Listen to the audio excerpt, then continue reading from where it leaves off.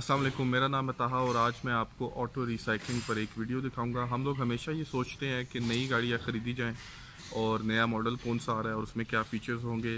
लेकिन जो पुरानी गाड़ियाँ दुनिया में बनी है, इस वक्त तक तकरीबन 100 करोड़ गाड़ियाँ दुनिया में बन चुकी हैं और दुनिया में जो सबसे पहले नंबर पर मुल्क जहाँ पर ज़्यादा गाड़ियाँ बनती हैं, वो चाइना है, फिर जापान और फिर जर्मनी है। तो जो पुरानी गाड़ियाँ हैं, उनको कैसे रिसाइकिल किया जाता है? आज मैं एक स्विस कंपनी में मौजूद हूँ। और यहाँ पर मैं आपको ये सारा प्रोसेस दिखाऊँगा और आपको दिखाऊँगा कि गाड़ियों को इन्वायरमेंट फ्रेंडली तरीके से कैसे रिसाइकिल किया जाता है Mein Name ist Marco Capelli. Wir befinden uns hier auf dem Areal der Autoverwertungs AG Rupp.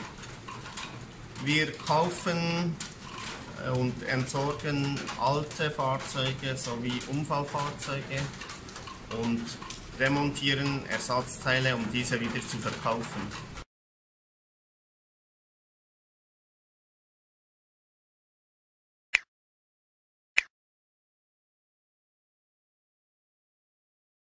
सबसे पहले स्टेप में गाड़ियों को यहाँ पर लेकर आया जाता है और उनको एक नंबर अलॉट किया जाता है। जैसे कि आप देख रहे हैं कि इस गाड़ी के ऊपर जी लिखा हुआ है और उसके बाद इन गाड़ियों को चेक किया जाता है और उनमें से जो पार्ट्स निकालने जाते हैं, उनको सॉर्ट किया जाता है। जैसे कि आप ये देख रहे हैं, गाड़ी मशीन के ऊपर खड़ी हुई है और इसके बाद इसको चेक किया जाएगा और इनमें से जो ज़रूरत की चीज़ें हैं, जो काबिल इस्तेमाल हैं, जैसा कि आप ये देख सकते हैं इंजन्स पड़े हुए हैं, इनको निकाल लिया जाता है। और यहाँ पर आप देख सकते हैं कि गाड़ियों को रखा गया है और ये गाड़ियाँ यहाँ पर सॉर्ट करके रखी गई हैं जो कि पुरानी गाड़ियाँ हैं और अगर किसी शख्स को कोई पार्ट चाहिए और वो ऑनलाइन ऑर्डर इसका प्लेस करता है तो फिर यहाँ से उस गाड़ी का वो स्पेसिफिक पार्ट निकाल लिया जाता है और उसको फिर बेच दिया जाता है। इसके अलावा मैं आपको अंदर भी लेकर जाऊँगा जहाँ पर जो कंपैरेटिवली नई गाड़ियाँ और उनके पार्ट्स को वहाँ पर रखा जाता है और सिस्टम में एंटर कर दिया जाता है कि अगर कोई शख्स गाड़ी ख़रीदना चाहे गाड़ी का कोई पार्ट ख़रीदना चाहे तो वहाँ से वो ख़रीद सकता है। जैसा कि मैंने आपको पहले दिखाया कि गाड़ियों को यहाँ पर लेकर आया जाता है और जो गाड़ियाँ अच्छी हालत में होती है और उनमें से अच्छे पुर्ज़े जो काबिल इस्तेमाल होते हैं, उनको निकाला जाता है और ये वो स्टेशन है जहाँ पे पुर्ज़ों को निकाला जाता है।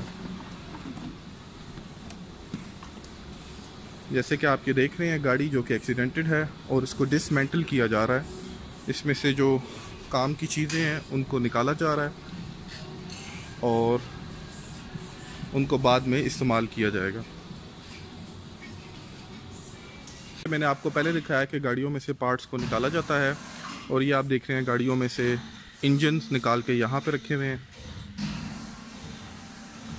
और इसके अलावा टायर की जो रिम्स हैं और ये गाड़ियाँ जो प्रेस करके यहाँ पे रखी गई हैं और इनको फिर मेटल को इस्तेमाल किया जाता है। ये अभी हम लिफ्ट के ज़रिए ऊपर जा रहे हैं और यहाँ पर सारी जो इंजन्स गाड़ियों के रखे हुए हैं, उनको अगर उठाना हो तो इस मशीन की मदद से उठाया जाता है।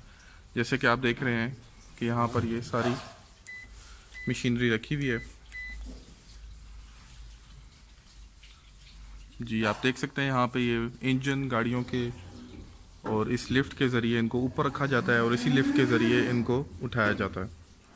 जैसा कि आप यहाँ पे देख रहे हैं कि गाड़ियों में से सारे पार्ट्स को निकाल कर यहाँ पर वेयर हाउस में सॉर्ट करके रखा जाता है और इसको सॉफ्टवेयर में एंटर किया जाता है कि अगर आपको किसी गाड़ी का पार्ट ढूंढना हो तो आप बहुत आसानी से सॉफ्टवेयर के ज़रिए ढूंढ सकते हैं।